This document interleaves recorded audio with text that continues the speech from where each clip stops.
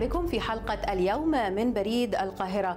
نتابع من خلالها أبرز القضايا والملفات والأخبار التي تحدث في مصر على شاشة الشرقية نيوز من خلال بريد القاهرة. معي أنا كريمة الحلفاوي. نبدأ بأبرز العناوين الخاصة بحلقة اليوم حيث نتابع. احتفالات نصر أكتوبر المجيدة تأتي في ظل توترات إقليمية فإلى أي مدى تؤثر هذه التوترات الإقليمية على الأمن الإقليمي والقومي المصري؟ نتابع في ملفات حلقة اليوم. إطلاق استراتيجية بناء الإنسان. كيف لكل الجهات الفاعلة سواء الرسمية أو الأهلية أن تعزز تنفيذ بنود هذه الاستراتيجية؟ ونتابع كذلك في حلقتنا مدينة شرم الشيخ واحدة من أهم الوجهات السياحية العالمية بمواصفات تحافظ على البيئة. ومن بين ملفاتنا كذلك نتعرف على فيلم رفعت عيني للسماء وبعد حصوله على جائزة أفضل عمل تسجيلي في مهرجان كان ينافس هذا العمل من جديد ولكن هذه المرة في مهرجان شيكاغو. نتعرف كذلك على خبر هام وطريف في الوقت ذاته وغريب وهو محاولة أحد السياح لدفن رفاه ولكن داخل معبد أبي سمبل في أسوان. هذه الموضوعات وغيرها من الأخبار نتابعها معا. ابقوا معنا. أهلا بكم إلى تفاصيل حلقة اليوم. نبدأ مع أولى ملفاتنا. انتصارات أكتوبر المجيدة تأتي في ظل توترات إقليمية تؤثر بشكل كبير على الأمن القومي والإقليمي المصري. هذه الاحتفالات الخاصة بانتصارات شهر أكتوبر تتزامن مع توترات إقليمية كبيرة. نتعرف على أبرز هذه التوترات وإلى أي مدى تؤثر على البعد الأمني القومي المصري. أن التاريخ العسكري سوف يتوقف طويلا بالفحص والدرس أمام عملية يوم السادس من أكتوبر سنة 73 حين تمكنت القوات المسلحة المصرية من اقتحام مانع قناة السويس الصعب واجتياح خط بارليف المنيع. الذكرى الحادية والخمسون لنصر أكتوبر تأتي في أجواء يشهد الإقليم اشتعالا على الجبهات كافة.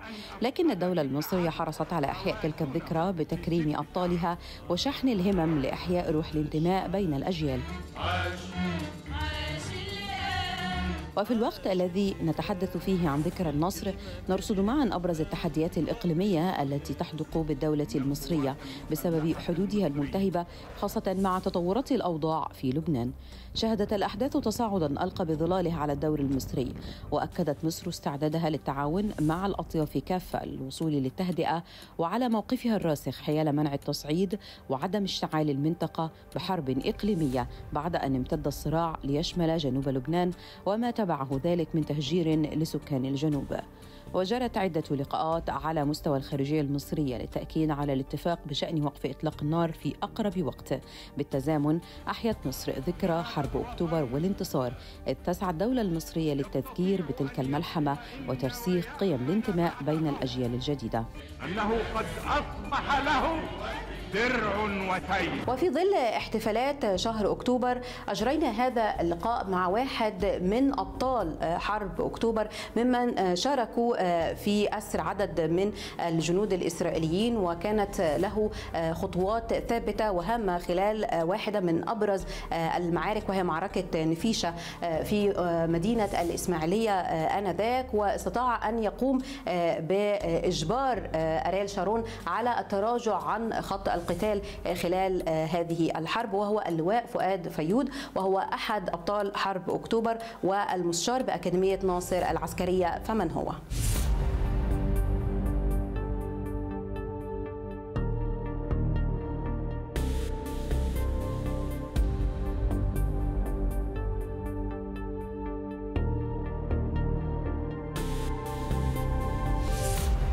سيادة اللواء فؤاد فيود أحد أبطال حرب السادس من أكتوبر والمستشار بأكاديمية ناصر العسكرية.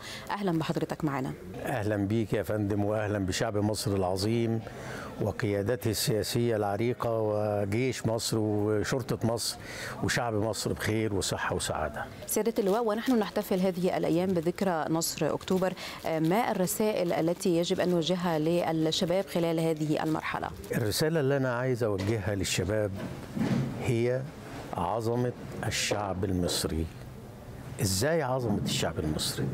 أما حصلت النكسة في سنة آه، آه، اللي حصلت النكسة سنة 67 آه، عبد الناصر الرئيس عبد الناصر أهو طالع بيقول إيه؟ بيتحمل المسؤولية كاملة. بيقول أنا بتنازل عن الحكم لأخي وصديقي زكريا محي الدين وأنا متحمل المسؤولية كاملة. طب الشعب المصري قال له إيه؟ قال له لا افضل في مكانك. الشعب المصري يقول لعبد الناصر لا أهو. انتصر الشعب وعاد عبد الناصر. انتصر الشعب وعاد عبد الناصر. ولم نكن له كما قال قوم موسى اذهب أنت وربك فقاتلا إنها هنا قاعدون. وإنما قلنا له انطلقوا بنا. لإعادة البناء واسترداد الأرض والكرامة إنا معك مقاتلون. إذا نتحدث عن معركة من أهم المعارك وهي معركة رأس العش والتي كانت نقطة فاصلة في حرب أكتوبر. يوم واحد يوليو معركة رأس العش. قوات صعقة سرية صعقة تصدت ليهم. المعركة تستمر سبع ساعات. سبع ساعات. و و و و و و و 36 من القتلى والجرحى. وثلاث دبابات مدمرة و11 مدرعة. بعد 20 يوم بالظبط. يعني إيه؟ يعني القوات المسلحة ولم تسقط بور فؤاد لأن رأس العش ما سقطتش. طيب نيجي بقى آه، يوم 21 أكتوبر سنة 1967 يعني في سنة النكسة ده عيد القوات البحرية. ليه عيد القوات البحرية؟ لتدمير المدمرة إيلات قدام بورسعيد. تدمير المدمرة إيلات. ودارت حرب الاستنزاف. في بعد 67 بقى هنيجي الفريق عبد المنعم رياض كان قائد الجبهة الأردنية. فلما رجع جه مصر كانت المدفعية كانت بتشمل المدفعية الميدان والمدفعية المضادة للطائرات. فصل مدفعية الميدان بقت لوحديها وعمل الميم طه ده اللي هي الدفاع الجوي الصواريخ. طيب أما الفريق عبد المنعم رياض ده راجل دماغ هايلة فعمل يوم 8 أكتوبر يوم 8 مارس عمل قصفة مدفعية على الدفاعات الإسرائيلية مركزة جدا. تاني يوم 9 مارس طالع علشان يشوف نتيجة الضربة دي. أما طلع يشوف إسرائيل لاحظوا إن في قيادة فلسان نقطة لسان التمساح لسان بور توفيق ضربت على الشهيد عبد المنعم رياض استشهد الشهيد عبد المنعم رياض يوم 9 مارس فده بنحتفل بيه يوم الشهيد. صحيح. طب نسيب طارو لا. ده الرفاعي ومحيي نوح ورجاء عطية يوم 19 إبريل. احسبي كده من 19 إبريل ل 9 مارس يوم الأربعين. ده دخلوا يوم الأربعين على النقطة. لسان بور توفيق دي اللي طلعت الدانة اللي قتلت عبد المنعم رياض وذبحوا 44 إسرائيلي فيها ذبحوهم. ونسفوا المخازن اللي جواها. ورفعوا العلم المصري وجابوا أسير إسرائيلي ورجعوا حتى محيي نوح رجع متصاب في العملية دي. بس اذا مصر لم تستكين. نعم سيادة اللواء بالتأكيد هناك العديد من الدروس المستفادة لكن أبرز هذه النقاط في وجهة نظر حضرتك مع آه، تلاحق هذه الأحداث والتفاصيل المتلاحقة والمتواصلة آه، في معارك نصر أكتوبر. الشعب لا ما أنا لا لازم دي. عايز أكمل 30 يونيو في 30 يونيو بتاعه الرئيس عبد الفتاح السيسي لما لم الدنيا اللي كانت فوضى. في 30 يونيو قبل منه عيد قوات الدفاع الجوي. ليه عيد قوات الدفاع الجوي؟ لأن في الأسبوع ده قطعنا ذراع إسرائيل الطويلة في القوات الجوية اللي كانت بتضرب بحر البقر وتضرب نجع حمادي. لا دمرنا لهم عدد كبير من الطيران في الأسبوع ده فسمي سموهم أسبوع تساقط الفانتوم أو أسبوع تساقط الطائرات يوم 30 يونيو سنة 70 عيد قوات الدفاع الجوي. فالعملية مستمرة يعني وإحنا النهارده مع الرئيس عبد الفتاح السيسي بنقول لشباب مصر ما إحنا اللي قلنا للسيسي برضو لأ زي ما الشعب قال لجمال عبد الناصر لأ افضل في مكانك. برضو الشعب قال للرئيس عبد الفتاح السيسي افضل في مكانك. بعد الثورة بتاعت 30 يونيو دي افضل في مكانك وكمل المشوار. زي ما عبد الناصر كمل المشوار انت هتكمل المشوار في إعادة بناء مصر وإن هي تاخد المكانة اللي تليق بيها كدولة تاريخية وعريقة في التاريخ. طبعا الراصد لتطورات الأحداث حاليا ما يحدث في لبنان على الجبهة اللبنانية ومن قبلها الجبهة الفلسطينية والتطورات والاشتعال الإقليمي.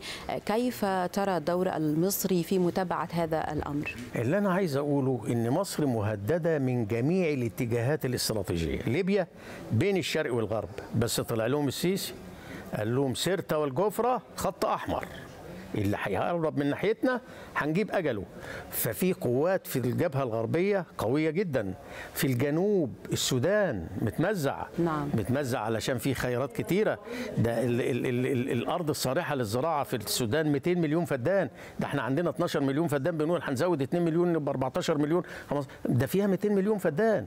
وفيها فحم المغارة وفيها مناجم ذهب. عشان كده السودان متمزع. طيب السودان والغرب. طب نيجي بقى للشرق غزة وإسرائيل. إسرائيل خلي بالك إسرائيل لو شايفة إن مصر فيها ضعف زي ما عملوا كده مع لبنان لا. خلي بالك إحنا في ثورة 25 يناير هيلاري كلينتون في مذكراتها بقول للشباب اقروا مذكرات هيلاري كلينتون التي لم يقرأها العرب. بتقول إحنا كنا حركنا الأسطول السادس الأمريكي في البحر الأبيض المتوسط عشان يوصل بورسعيد وحركنا الأسطول السابع الأمريكي في البحر الأحمر عشان يجي عند السويس. فوجئنا. وإحنا في البحر الأبيض فوجئنا بسرب غواصات مصرية ماشي في المياه الإقليمية قبل الاسطول السادس الأمريكي في البحر الأبيض. ونحن نعرف مدى كفاءة هذه الغواصات اللي دمروا المدمرة إيلات. وفوجئنا في البحر الأحمر بإن إحنا لقينا سرب طا- سرب طائرات ميج 21 فوق الأسطول. لا ندري من أين جاءوا ولا إلى أين ذهبوا. لا ندري من أين جاءوا هنقول كفاءة طيار طير على وش المية. أما لا ندري إلى أين ذهبوا يعني ما عرفناش هم راحوا فين ده كفاءة الحرب الإلكترونية. يعني إحنا ولذلك لما كنا بقى إيه جاهزين ما عرفوش يخشوا لأن إحنا سمعنا كلام ربنا. وأعدوا لهم ما استطعتم من قوة ومن رباط الخيل ترهبون به عدو الله وعدوكم. وآخرين من دونهم لا تعلمونهم الله يعلمهم. إذا المعارك بتحتاج لمزيد من الوعي وقراءة للمشهد ككل ومعرفة تفاصيل ما يحدث حولنا وكذلك آه، الاستعداد العسكري آه، كيف تنظر لذلك؟ يعني أنا عايز أقول حاجة أما هو ياخدوا عند ممر فيلادلفيا ده وال- عندنا هناك لو القوات المسلحة مش جاهزة لهم كانوا تمادوا وفي الغرب في ليبيا لو القوات المسلحة مش جاهزة لهم كانوا دخلوا وفي الجنوب. يعني إحنا مهددين في كل الأماكن. لكن القوات المسلحة قادرة على الصمود وعلى الردع. وعلى الردع. الرسول عليه الصلاة والسلام قال إيه عن جيش مصر؟ بيقول ستفتح عليكم بلدا يدعى فيها القراط. فاتخذوا منها جندا كثيفا. ليه يا سيدنا رسول الله؟ لأنهم وأزواجهم في رباط إلى يوم القيامة وهم خير أجناد الأرض. فالرسول عليه الصلاة والسلام آه، بيتنبأ لنا بكده. وربنا سبحانه وتعالى معانا. يبقى إحنا ده ربنا تجلى على جبل على أرضنا أرض التجلي الإلهي. وربنا كلم سيدنا موسى على أرضنا ومصر الأنبياء. وهيجي لنا مين؟ ده إحنا هيجي لنا سيدنا عيسى. سيدنا عيسى هيقعد في مصر ثلاث سنين وخمس أيام. وهيجي لنا سيدنا موسى اللي كان فيها متربي فيها. وسيدنا إبراهيم. سيدنا إبراهيم لما هيتجوز السيدة هاجر. ده هاجر دي مصرية. هيخلف منها سيدنا إسماعيل. سيدنا إسماعيل دي بينحدر من نسله العرب نعم. بما فيهم سيدنا رسول الله. يعني المصريين خوال العرب. سيادة اللواء نتحدث عن آه، تسليح الجيش المصري آه، وانفتاحه على شراء المزيد من الأسلحة آه، خلال الفترة الأخيرة من أجل الاستعداد العسكري لمجريات الأمور. نتحدث عن هذا الأمر. المفروض إن ما فيش اقتصاد يتبني بدون قوة تحميه فإحنا بنسعى وماشيين على التوازي على فكرة لأن القوات المسلحة آه، فيها جهاز اسمه جهاز مشروعات الخدمة الوطنية. جهاز مشروعات الخدمة الوطنية دي ما تشوفوا ال- المنافذ البيع الأساسية. يعني قائم على برضه فيه صناعات وبيطلع مواد بتخدم الشعب سواء في المحاصيل أو في الصناعات الغذائية أو إلى آخره أو في الأدوية. يعني إحنا شغالين على الاثنين يعني قوة واقتصاد. سيادة اللواء فؤاد فيود أحد أبطال حرب السادس من أكتوبر والمستشار بأكاديمية ناصر العسكرية. شكرا جزيلا لك. شكرا جزيلا وكل التحية والتقدير لشهداء مصر الأبرار وهم أحياء عند ربهم يرزقون. بسم الله الرحمن الرحيم. ولا تحسبن الذين قتلوا في سبيل الله أمواتا بل أحياء عند ربهم يرزقون. صدق الله العظيم. كل التحية والتقدير للشهداء ولأسر شهداء مصر وللقيادة السياسية وللشعب المصري. من بين أخبارنا مصر ترسل مساعدات للأشقاء في لبنان وتتفق مع الجانب الفرنسي بشأن الوقف الفوري لإطلاق النار. أعلنت مصر إرسال مساعدات للبنان لمساندتها في أزمتها الإنسانية بسبب الحرب.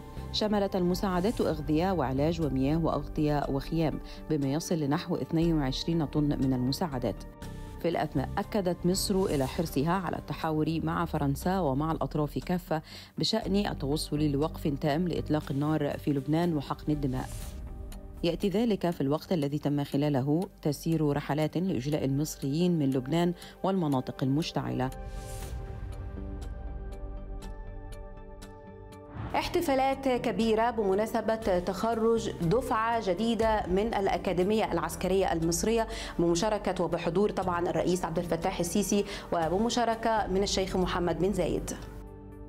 تصدر حفل تخرج الكليات العسكرية 2024 محركات البحث بسبب بحث عدد كبير من المواطنين عن الحفل لمتابعته.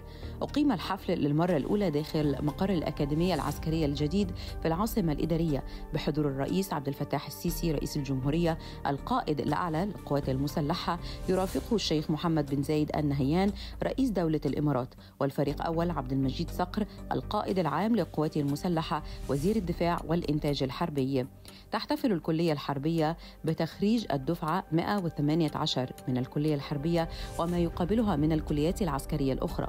إذ أعلنت وزارة الدفاع أن الحفل شهد تخريج الدفعة 75 بحرية والدفعة 91 جوية والدفعة 61 فنية عسكرية والدفعة 52 دفاع جوي والدفعة 53 من الكلية التكنولوجية. تم الحفل في أجواء مبهرة وأرسل من خلاله الرئيس عبد الفتاح السيسي عدة رسائل لكل ما يحدث في المنطقة وتناول خلالها الدور المصري في تعزيز استقرار الإقليم وأمنه. إطلاق استراتيجية بناء الإنسان والتي تمت برعاية مباشرة من السيد رئيس الجمهورية الرئيس عبد الفتاح السيسي. هذه الاستراتيجية التي تحمل مجموعة من الأهداف تسعى لتحقيقها في مجال الارتقاء بشكل عام بمستوى معيشة وحياة الإنسان المصري. حيث أعلن الرئيس المصري عبد الفتاح السيسي إطلاق استراتيجية بناء الإنسان التي تهدف لبناء المواطن فكريا وتعليميا وتربويا. الاستراتيجية تشمل محاور رئيسية أبرزها ملفات التعليم والصحة والتثقيف ورفع الوعي. بيتم تنفيذ بنودها بالتعاون بين الجهات كافة الرسمية منها وغير الرسمية. تشمل الاستراتيجية أكثر من مرحلة وتسعى لتقييم الأهداف والنتائج بشكل دوري. تنطلق الاستراتيجية من رؤية مصر 2030 المعنية برفع الوعي وتعزيز برامج الثقافة والتعليم. ويعد المجلس القومي للمرأة واحد من الجهات الساعية لترجمة استراتيجية بناء الإنسان هناك العديد من الجهات التي تعنى بتنفيذ بنود هذه الاستراتيجية سواء جهات رسمية أو جهات غير حكومية وجهات أهلية وغيرها. المجلس القومي للمرأة من بين هذه الجهات التي تعتني بترجمة هذه الاستراتيجية لخطوات فاعلة تعزز من حياة المرأة المصرية في مختلف مجالات الحياة على صعيد العمل، على صعيد القوانين، على صعيد حياتها العامة والخاصة. التقينا بالدكتور الدكتورة رقية شلبي وهي أستاذ الفلسفة بكلية البنات جامعة عين شمس وهي أيضا مقرر المجلس القومي للمرأة وتحدثنا معها حول هذا الملف فمن هي؟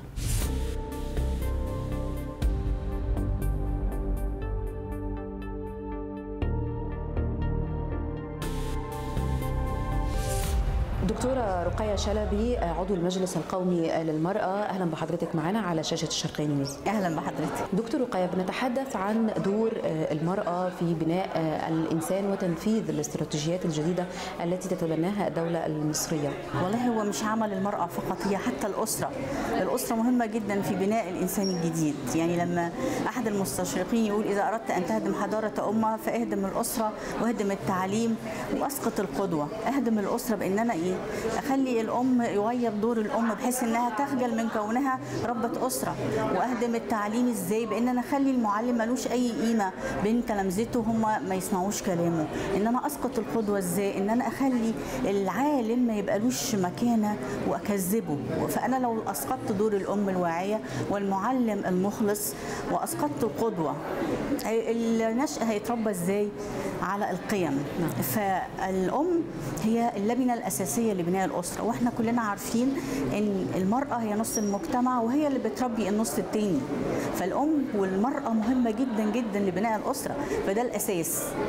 بس أنا دلوقتي عندي مشروع جديد اللي هو آه، المشروع القومي لتنمية الأسرة وده الحقيقة خطوة رائعة جدا لبناء الإنسان بعد ما ظهور بعض السلبيات اللي من الممكن إنها تأثر وأثرت بالفعل على على المجتمع ما الذي تقومون به داخل المجلس القومي للمرأة من أجل آه، تعزيز استراتيجية آه، ودور آه، المرأة المصرية لمواكبة مستجدات الاستراتيجيات التي تطلقها الدولة؟ في أنشطة كتير جدا وفي حملات كتير جدا لدعم المرأة وتمكينها اقتصاديا وسياسيا واجتماعيا تمكينها يعني إن أنا أمكنها من أدواتها أخليها قادرة على مواكبة الم- المستجدات والتنمية المستدامة اللي بتحصل في البلد.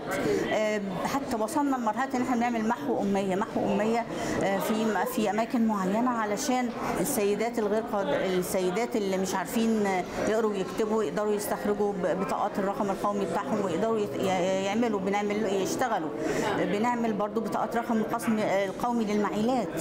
ده غير بقى توعيه حمل طرق طرق الأبواب وبرامج تحويش حاجات كثيره جدا. المجلس القومي متبني المرأة من جميع النواحي سياسيا واقتصاديا وثقافيا. إذا يعني نتحدث بشكل أكثر عما تقومون به، هل بيشمل لقاءات مباشرة؟ هل بيشمل طرق أبواب؟ يعني الخطط التي يتم تنفيذها داخل المجلس القومي للمرأة للنهوض آه، وتعزيز مكانة دور المرأة بشكل. إحنا نازلين بنحتك بالمجتمع على جميع الفئات من من جميع المستويات جميع الفئات العمرية. الأمر يتطرق أيضا لمجال التشريعات يعني آه، مجال القوانين التي تتعلق بالمرأة أيضا. من ناحية القوانين يعني إحنا بنشوف المشاكل اللي موجودة اللي موجودة إيه وأكتر المشاكل آه، وجودا. آه، وعندنا مكتب للشكاوي ليه رقم خط ساخن آه، 15115 لو في أي مشكلة بتقابل المرأة بتتوجه ليهم بتتحدث معاهم. وفي محاميين بيعملوا بدون مقابل. بس بقى حسب ظهور المشاكل بيتصدر المجلس القومي للمراه لأي مشكلة يعني. يعني ربما هذا يأخذنا لنقطة هامة وهي أبرز التحديات أو المشكلات اللي بتقابلكم داخل المجلس القومي للمرأة من أجل مواصلة عملكم. المجلس القومي للمرأة ليه فروع في جميع المحافظات يعني 27 مقر المجلس القومي للمرأة في 27 محافظة كل في مكانه بيقوم بعمل على أكمل وجه خلال خطة موضوعة آه، كل بيمشي على موضوعة بالظبط والتنمية اللي مطلوبة إذا دكتور آه، يعني آه، في ظل آه، هذا العمل الكثيف الذي يشمل كثير من اللجان والذي يشمل الكثير من اللقاءات على مختلف الإدارات المركزية هل هناك يعني عمل مركزي أكثر آه، من أجل آه، يعني النظر في الخطة العامة آه، لدور المرأة؟ كلنا حضرتك موجودين في جروبات خاصة في إدارة بتحكمنا في قوانين وفي أطر بت- بتحكمنا في حاجة زي كده في خطة سنوية وفي خطة آه، ربع سنوية وكده. ففي خطة إحنا ماشيين عليها. غير إن إحنا بنعمل تقرير يومي على الن- النشاط اللي إحنا بنعمله. دكتور رقية حضرتك أستاذ جامعي داخل كلية ال- البنات جامعة عين شمس نتحدث عن إعداد جيل بالكامل بيتعامل مع قضايا المرأة آه، كيف يتم آه، مراعاة ذلك حتى في المناهج الدراسية اللي بيتم التعامل بيها مع ال- الطالبات اللي هم هيكونوا بعد كده قيادات في مراكزهم المختلفة داخل المجتمع؟ والله بقى بالنسبة للجامعة الجامعة بيبقى فيها إيه إحنا بنقول جامعة. جامعة يعني إيه؟ بتاخد ثقافات مختلفة من جميع المحافظات. فبيحصل فيه أحيانا اختلافات في الرأي في وجهات النظر بين الطالبات أو كده. فإحنا بنحاول قدر المستطاع نعلمهم ثقافة الاختلاف في الرأي إيه؟ إزاي يتعاملوا معاها؟ إزاي الأمور بسيطة؟ بنحاول نقرب بين وجهات النظر من خلال التوعية المستمرة الندوات الدورات التدريبية. بالتأكيد يعني بتقابلكم أيضا يعني بعض العقليات حتى الصادمة اللي الرافضة للتغيير أو الرافضة لعمل المرأة حتى الآن يعني على الرغم إن إحنا يعني في هذا العصر يعني. بيبقى في في في كل كلية بيبقى في مكتب خدمة نفسية وخدمة اجتماعية وبيتواصلوا مع لو في حد مثلا زود قوي في الحوار أو تطاول أو بيبقى في طبعا جلسات نفسية ونشوف إيه السبب لل... للانحراف أو لل... للصورة السلبية اللي ظهرت منه بحيث إن إحنا نقدر نعرف هل هو في تأثير من الأسرة عليه هل المجتمع هو اللي مأثر عليه ولو كان في مشكلة عنده بنحاول نحلها له بنخليه لو حتى بعض عضوات هيئة التدريس أو هيئة التدريس يتواصلوا معاه باستمرار يشوف مشاكله إيه بحيث إن لو في مشكلة ممكن حلها بتتحل مشكلة مش ممكن حلها بنحاول نتواصل مع الأسرة نحاول نشوف المهم ما تبقاش في مشكلة بس في مشاكل طبعا بيبقى في صعوبة في حلها بنحاول قدر المستطاع نقلل من الحدة اللي بتبقى بين من الطلبة. إذا نعود لنقطة هامة يعني الآن في هذا التوقيت تحديدا إيه أبرز المشكلات اللي بتواجه المرأة كي تكون ناجحة في عملها أو ناجحة حتى في حياتها بشكل عام؟ ممكن يعني عدم تفهم الزوج إن هي تعمل مثلا مش عايزة تشتغل بتبقى فيها أولاد مش عارفة تنزل تشتغل. يعني هو بتبقى أغلب الحاجات بتبقى كده. طب هل هناك معوقات سياسية أقتصادية بتعرقل ممارسة المرأة لدورها؟ ما فيش مشاكل سياسية ولا حاجة بتعرقل المرأة قد مثلا هي رغبتها كمان. ما في سيدات ما تحبش تشتغل يعني. لكن اللي بتحب تشتغل وتجد مثلا صعوبة في إنها تشتغل نظرا لزوجها مش عايزة تشتغل في صعوبة في إنها أو عندها اولادها تنزل تشتغل إزاي؟ فبس يعني. الأستاذة الدكتورة رقية شلبي عضو المجلس القومي للمرأة. شكرا جزيلا لك. أنا سعيدة بك جدا. أهلا. من بين أخبارنا مصر تتولى رئاسة مجلس الأمن والسلم الأفريقي خلال شهر أكتوبر. ذكر السفير الدكتور محمد جاد سفير جمهورية مصر العربية لدى إثيوبيا ومندوبها الدائم لدى الاتحاد الأفريقي أن مصر تم اختيارها لتتولى رئاسة مجلس السلم والأمن الأفريقي خلال شهر أكتوبر. أشار المندوب الدائم إلى أن الرئاسة المصرية تعمل على تعزيز دور المجلس كجهاز معني بصون السلم والأمن والاستقرار ومعالجة التحديات الأمنية والتنموية التي تشهدها القارة الأفريقية حيث تأتي الرئاسة المصرية للمجلس في سياق إقليمي ودولي معقد تتزايد فيه التحديات الأمنية وهو ما تطلب تضافر الجهود والتشاور بشفافية حول سبل مواجهتها عبر مقاربة شاملة بغية إرساء الاستقرار والأمن في القارة الأفريقية وتحقيق أهداف أجندة الاتحاد الأفريقي للتنمية 2063金 نتحول الآن إلى محافظة الأسكندرية حيث نتعرف على الأنشطة التي قام بها الطلاب العراقيون من جامعة الأسكندرية والمتواجدون هنا في مصر من أجل إحياء الاحتفالات الخاصة باليوم الوطني العراقي. كيف يقوم هؤلاء الطلاب بتعريف الأنشطة التراثية والفنية للعراق وأبرز الاحتفالات التي صاحبت هذا اليوم؟ نتعرف عليها من خلال هذا اللقاء.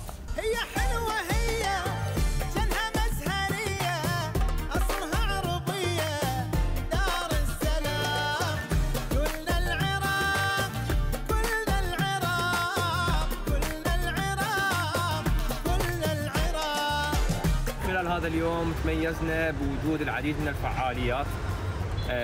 بديناها باولها كان الركن العراقي تميز الركن العراقي بوجود العديد من الحلويات العراقية مثل البقلاوة العراقية ومن السمة والتمور العراقية الشهيرة. طبعا كان أكو تواجد كلش كلش كبير من أبناء الجالية العراقية والعوائل العراقية الكريمة والطلاب المنتسبين إلى جامعات الإسكندرية. طبعا آه، كانت أكو العديد من الفقرات مثل ال- كانوا أكو معانا شعراء وادباء ومفكرين آه، ألقوا شعر عن العراق كاتبين اناملهم آه، طبعا قدمنا فيديوهات آه، تمثل تاريخ العراق والحضارات العراقية. آه، قدمنا ألعاب وأفكار خلال العروض اللي قدمناها. طبعا كانت أكو فرحة كلش كبيرة مرسومة على وجوه ال- الناس الحاضرة من العراقيين والعوائل الكريمة. وصلت إلى أنه دموعهم نزلت. طبعا إحنا نتمنى إنه تبقى البسمة مرسومة على وجوه العراقيين آه، ونتمنى إنه صفحة الحزن تنطوي ونتمنى يعني مستقبل أفضل لبلادنا. قريبة.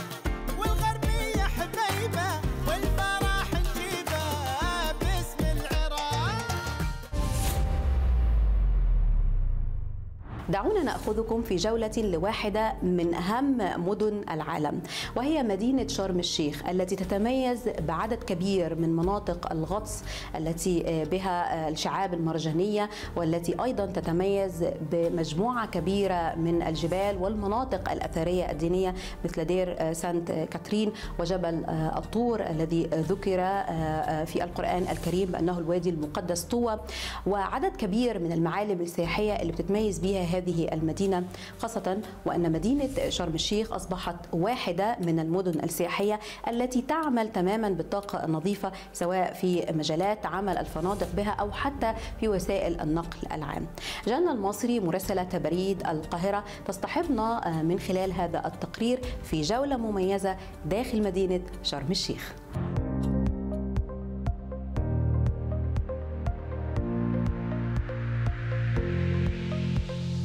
على بعد نحو 500 كيلومتر من القاهرة العاصمة تقع مدينة شرم الشيخ اللي بتعتبر واحدة من أهم وجهات السياحة العالمية في محافظة جنوب سيناء حيث الجبال بألوانها المختلفة الخلابة. هنا نجد أهم وأجمل مناطق الغطس في العالم وهنا توجد أفضل أماكن للسفاري. كان شرم الشيخ والغردقة كانوا بيعتمدوا مثلا على روسيا وبعض دول شرق آسيا لكن أعتقد آه، أو وشرق أوروبا. لكن دلوقتي هيبقى في آه، يعني جذب لعديد من الدول لأن دلوقتي تنشيط السياحة بيعتمد على آه، فكر جديد كنا مفتقدينه في الفترة اللي فاتت. شرم الشيخ بها كل سبل الحياة والترفيه. ما جعلها وجهة للمستثمرين من كل أنحاء العالم لإقامة أهم الفنادق والمنتجعات السياحية على أرضها وتتمتع بأفضل شواطئ في ساحل البحر الأحمر. ونظرا لمميزاتها فهي أيضا قبلة المؤتمرات العالمية زي مؤتمر السلام ومؤتمرات عدم الانحياز.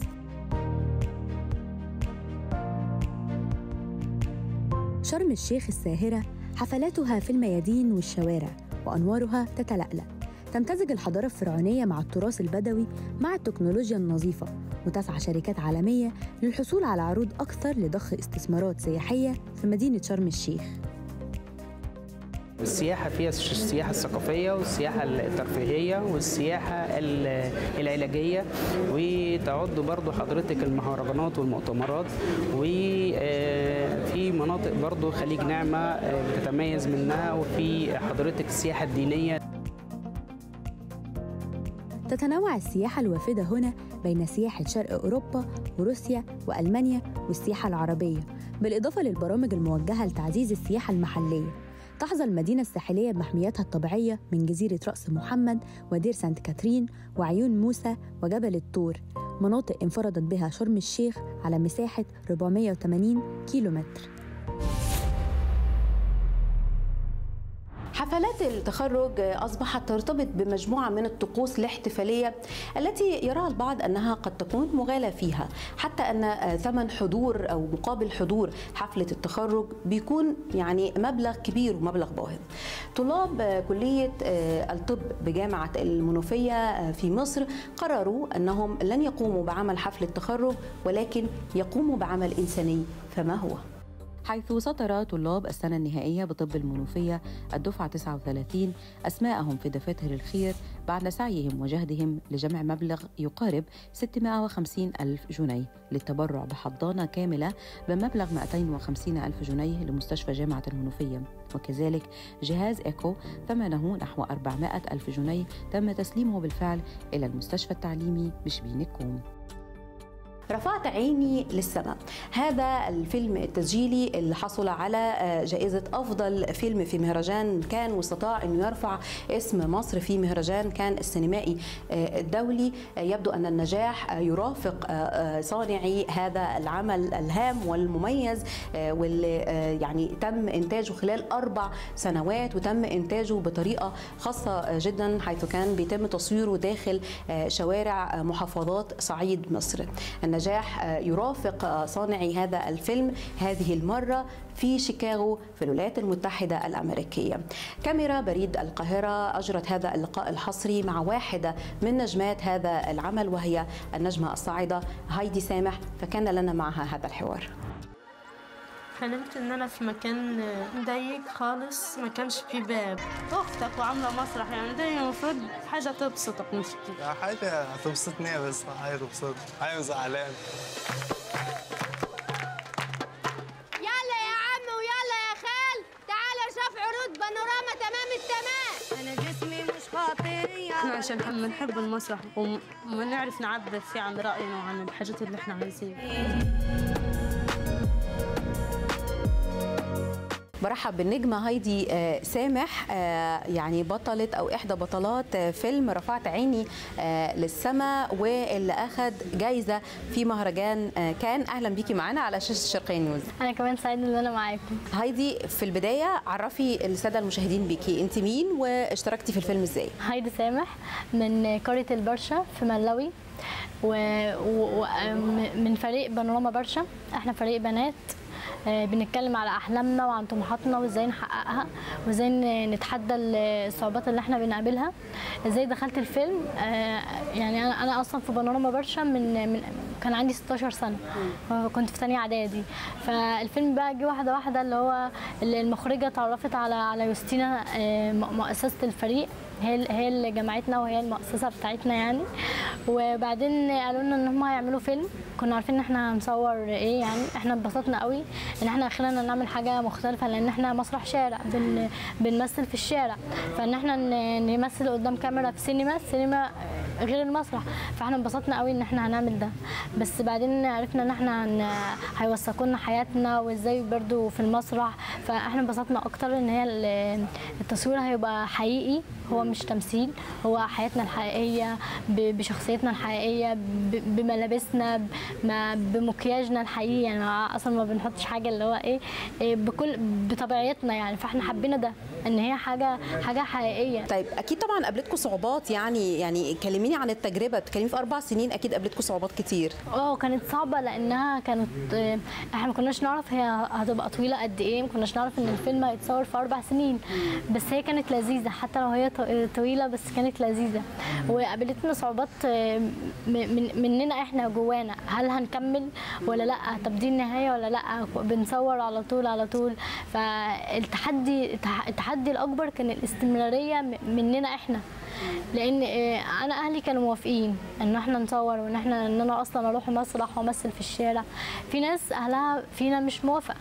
فكانت دي حاجة أكيد صعبة بالنسبة لهم. يعني أنا ما أقدرش أتكلم بلسانهم بس كلنا فريق واحد مش كلنا أهلنا موافقين. ففي ناس برضو تحدياتها كانت أصعب من التحدي ليا أنا. كنتوا متوقعين إن أنتوا آه، يعني هتروحوا كان والفيلم بتاعكم هيروح كان وإن أنتوا هتكسبوا؟ بص إحنا ما فكرناش في كده بس إحنا كنا مستمتعين إن إحنا بنعمل حاجة إحنا حابينها فأنا كنت بفكر بقول يعني زي ما أنا حبيتها أكيد الناس هتحبها. حلو جدا. و- وكمان ما كناش عارفين إن إحنا هنروح كان. إحنا كنا آه عارفين إن إحنا هيدخل مهرجانات بس مش كان. يعني مش عارفين. بس أبويا كان بيتمنى ده. يعني أبويا كان كان حاسس بده يقول أنتوا هتدخلوا كان. فبقول له لا مش لدرجة إن إحنا نروح كان. كان مؤمن بيكي. آه لا أنتوا هتروحوا كان وهتاخدوا جايزة. وهتبقى اول أنتوا في أول فيلم تاخدوا جايزة. وكان هو كان نفسه يشوف الفيلم الله يرحمه ما ما لحقش يشوفه للأسف. الله يرحمه. بس هو كان كان واثق فينا كلنا. يعني حتى أصحابي كان بيقول برضو أصحابك هم كويسين. بيجيبهم بالاسم هو عارفهم إحنا كلنا في البلد صغيرة فكلنا عارفين بعض. كلنا بنروح عند بعض أهلي عارفين أهلهم والكلام ده. فأبويا كان واثق فينا كلنا حتى في الأستاذ أيمن والاستاذه ندى هو كان بيحبهم قوي. فكان واثق في شغلنا قوي. وهو معانا في الفيلم فكان بيقول إيه لا ده هينجح علشان أنا فيه. اللي هو إيه فكان بيحب يمثل برضه. طب اوصفي لي بقى إحساسك كنت فين لما كلموكي وقالوا لك إحنا رايحين كان وإن الفيلم مترشح للمشاركة في المهرجان؟ اليوم ده إحنا أنا كنت في الشغل أنا بشتغل يعني كنت في الشغل فاليوم ده كنت متضايقة أصلا من غير سبب. فبعدين بفتح ال- الواتساب بلاقي بقى في رسالة إن إيه اللي خلاص آه، فيلمنا تم اختياره في مهرجان كان. واحتمال احتمال إحنا نروح صحيح. لسه ما عرفناش هنروح ولا لأ. بس إحنا انبسطنا قوي إن الفيلم هيبقى هناك وكنت قاعدة أحضن في اصحابي هناك الب- البنات وقاعدين أقول لهم احضنوني ومبسوطة وبيقولوا لي ليه ليه ومش فاهمين أنا بعمل كده ليه. بقى حكيت لهم بقى إن أنا كنت مصورة فيلم وهيبقى في كان واحتمال أنا كمان أروح فكانت آه، انبساط يعني إحنا كانوا ثلاث مفاجآت إن إحنا إن فيلمنا كان آه، راح هي- هيروح كان وبعدين انبسطنا أكتر إن إحنا هنروح نحضره هناك وبعدين انبسطنا أكتر أكتر إن هو خد جايزة. هايدي بعد ما سافرتوا كان هل توقعتي برضو إن الفيلم ممكن يحصل على جايزة؟ إحنا مش مش متوقعين ده بس إحنا نفسنا يعني إحنا بنقول إن إحنا تعبنا آه، فريق العمل كله تعب المخرجين والمنتجين conseguindo وكله يعني دول أربع سنين تصوير وسنتين يعني إنتاج فست سنين مش أربع سنين بس. فاللي هو لأ أكيد أكيد تعبنا ده مش هيروح على الفاضي. إحنا كنا بنتمنى إن إحنا ناخد جايزة بس مش عشان نبقى خدنا جايزة لأ عشان أكيد ربنا هيكافئنا بجايزة. طبعا نجاحكم ما وقفش عند النقطة دي. أنتوا كمان هتشاركوا في مهرجان في شيكاغو. آه، يعني كلميني بقى عن إن بيتم اختيار الفيلم بتاعكم للمشاركه في مهرجان دولي تاني. إيه إحساسكم بده؟ وهل تتوقعوا إن شاء الله إن أنتوا برضو تكسبوا. آه، إحنا هنروح شيكاغو لسه مش عارفين بس هو المهرجان ال- الفيلم هيتعرض هناك. يعني آه، خلاص تم اختياره إن هو يتعرض في شيكاغو. هايدي تفتكري إن التوليفة إن فيلم من عمق صعيد مصر يوصل للعالمية؟ إيه السر وراء آه، نجاح هذا ال- العمل وإنه ياخد مهرجان كبير زي مهرجان أو ياخد جايزة كبيرة في مهرجان كبير زي كان؟ أنا مش عارفة بالظبط بس هو ممكن يكون علشان هو حقيقي. لأن لأن قصتنا أو قصتي وقصة أصحابي اللي معايا و- والتحديات اللي إحنا بنقابلها مش إحنا بس اللي قابلناها. حضرتك هتبقي قابلتيها في حياتك في سننا وبنات كتير بتقابلها في سني وممكن تكون ست كبيرة عندها 70 سنة هي لو شافت الفيلم هترجع لذكرياتها في- الوقت اللي أنا اللي أنا سني فيه في الفيلم. كنا في سن مراهقة. فحاجات كتير بتتغير معانا مع الوقت.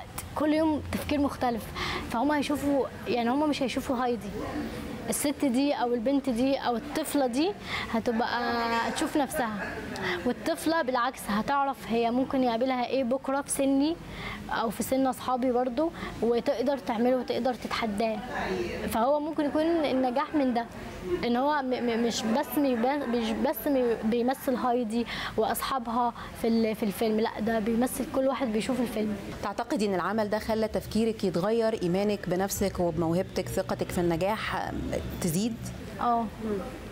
وخصوصا في الصعيد يعني بنات الصعيد وأهل الصعيد هم عندهم أحلام كتير قوي قوي قوي وعندنا في المنيا ومش في المنيا بس لأ وفي أسيوط وفي الصعيد في خط الصعيد كله هم في مواهب كتير جدا. وده برضو يوريهم إن هم لأ حتى لو أنتوا آه، الظروف بتاعتكم صعبة حتى لو صعبة في المادية إحنا إحنا وصلنا من من غير حاجة. إحنا وصلنا كده ب- ب- بمواهبنا بس هي موهبة جوانا. فانتوا نموها. إحنا برضو بنحاول ننميها بنحاول نتعلم أكتر ناخد خبرات أكتر لأن هي موهبة مخلوقة جوانا فاحنا لازم برضو ننميها. هايدي سامح إحدى نجمات فريق برشا من ملاوي المنيا وإحدى بطلات فيلم رفعت عيني للسماء سعيدة جدا بوجودك معانا على شاشة الشرقيه نيوز. شكرا ليكي. ربنا يخليكي. شكرا. من بين الأخبار اللي انتشرت بشكل كبير في وسائل التواصل الاجتماعي في مصر خلال الأيام القليلة الماضية خبر ارتبط بلاعب كرة القدم الشهير مؤمن آه، زكريا آه، حيث آه، كان هناك فيديو لعمل أو لسحر ملقى في أحد المقابر ما أثار ردود فعل واسعة إلا إن السلطات المصرية تتبعت هذا الأمر.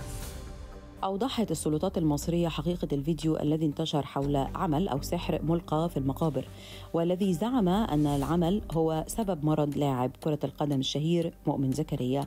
بدأت القصة بنشر فيديو لورقة مدفونة في المقابر مكتوب عليها اسم اللاعب والمصاب بمرض قيل عنه أنه مرض نادر أبعده عن الملاعب.